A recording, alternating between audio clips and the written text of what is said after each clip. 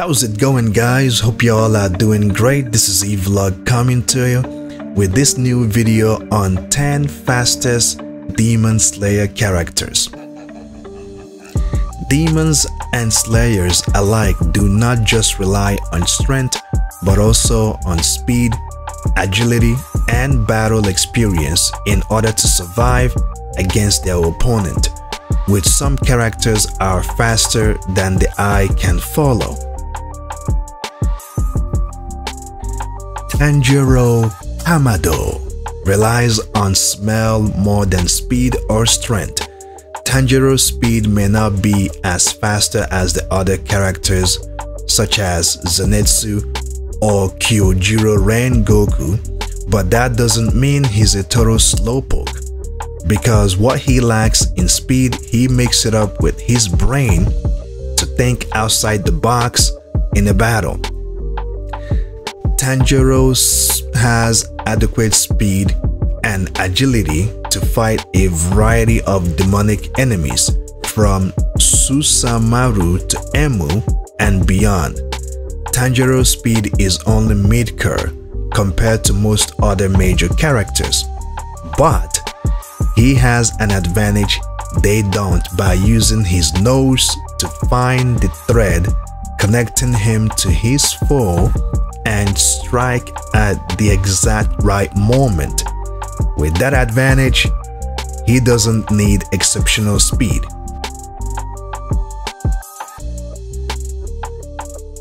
Nezuko Kamado Nezuko was turned into a demon against her will and while she travels with her brother Tanjiro Kamado in search of a cure to regain her humanity, she can at least make use of her demonic powers. In the meantime, Nezuko sometimes fights alongside her brother and despite not receiving any training, she is an exceptional fighter. In a combat, Nezuko tends to run and kick, and she can even take a demonic head off with her Firenze kicks. She can also use her claws to slash at her foes and use fire-based moves.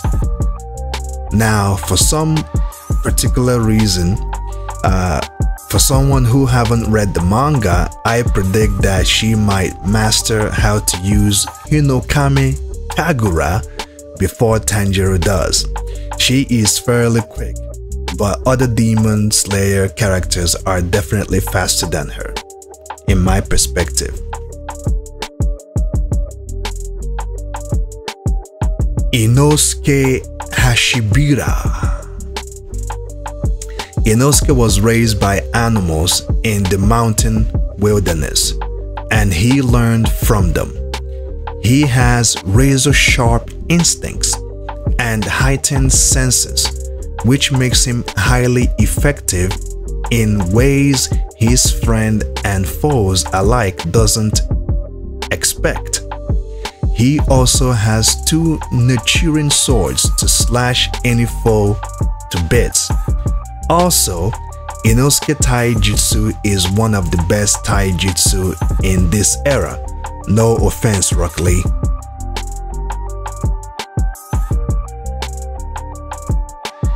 Kanao Tsuyuri Kanao may be a quiet and gentle girl, but she is far from defenseless. In fact, she is among the quickest characters in the series so far, and she is fully trained as a demon slayer. Kanao is a member of the Butterfly Estate. Kanao generously helped train Tanjiro and his friends after the battle against Rui, the spider demon and she was much quicker than Tanjiro was prepared for. For a time, she stayed one pace ahead of Tanjiro and practically made a fool of him and his friends. Zenitsu Agatsuma Zenitsu is widely known for his cowardly persona and his constant complaints before or during battle, but he's not totally a deadweight. During his adventure, he's not totally a deadweight during his adventure with Tanjiro. Under the right circumstances, Zenitsu is actually a lightning fast swordman. And that's no coincidence. True to his thunder breathing element, Zenitsu can move like a flash of lightning, especially when fighting for his or when protecting his friends. Zenitsu has used his ultra speed a few more times since then, and I don't think Tanjiro can match it. Now, this is my perspective. Someone who is basing my commentary on a few research and the uh, and on anime, I totally believe that if Tanjiro and uh, Zenitsu were about to go toe to toe, I don't think that Tanjiro can match Zenitsu's speed. That is just my perspective. Giyu Tomioka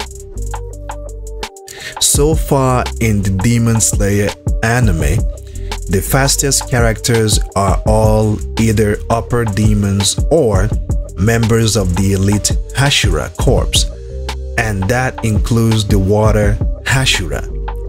Now, although we don't see much of Giyu in the series, but he's certainly faster than Tanjiro and Inosuke. Giyu can move in the blink of an eye and deliver deadly sword strikes to take down a demon before that demon even knows what is happening. Giyu also demonstrated his speed early in the series against Kamados.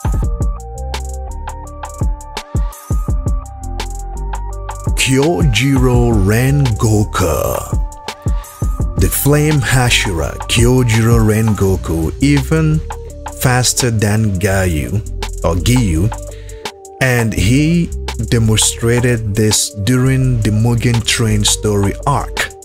While fighting a variety of demons, Kyojiro is a bold, speedy, and aggressive fighter true to his elemental breeding.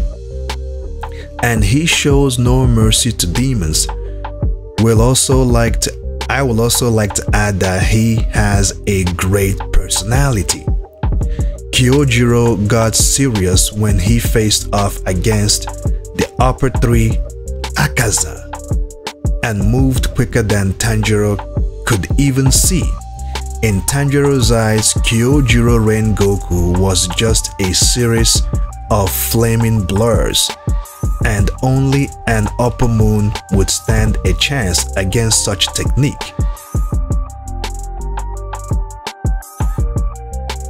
Akaza was a major antagonist of the Mugen Train arc, and we might see him again later on in the show to challenge Tanjiro Kamado, because I don't think Akaza has forgotten what Tanjiro did to him, so Tanjiro had better be prepared and ready because Akaza is very, very powerful, even more powerful than any foe he has faced thus far.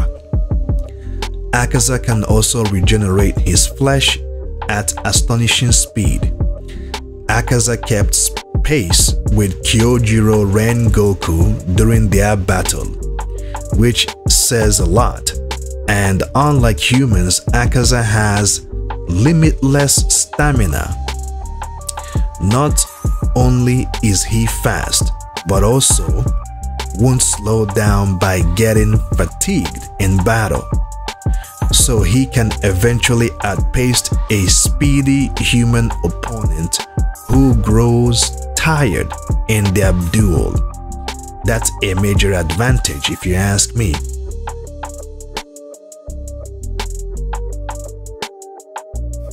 Despite her laid-back persona, Shinobu Kocho is actually an intense and focused demon slayer who doesn't tolerate anyone's nonsense for long. She is incredibly fast and no demon can keep track of her movements in battle. Shinobu can use her superior speed to avoid enemy attacks, then get into position to deliver a deadly counterattack with her poisoned Nichirin blade and seal the deal which can win her the battle over the upper moon demons.